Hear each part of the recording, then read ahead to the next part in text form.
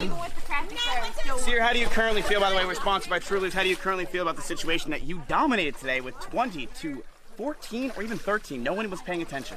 We went in with our A game. Everything that happened was as expected. Everything in the team. Brain cells always did, always will. It's hard coming into this world. Only dominating everything is